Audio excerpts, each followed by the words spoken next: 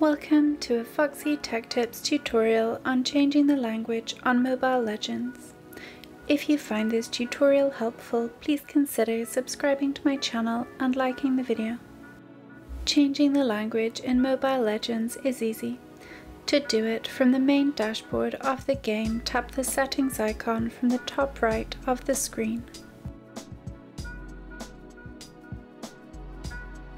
Here on the settings page, tap the language option from the bottom left of the page.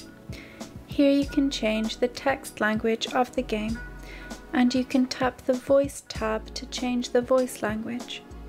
Extra voice languages will need to be downloaded.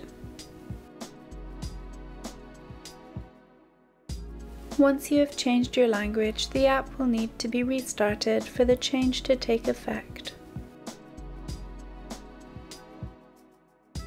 And that draws an end to this tutorial. Please like the video if you found it helpful and subscribe to Foxy Tech Tips for more Mobile Legends tips and tricks.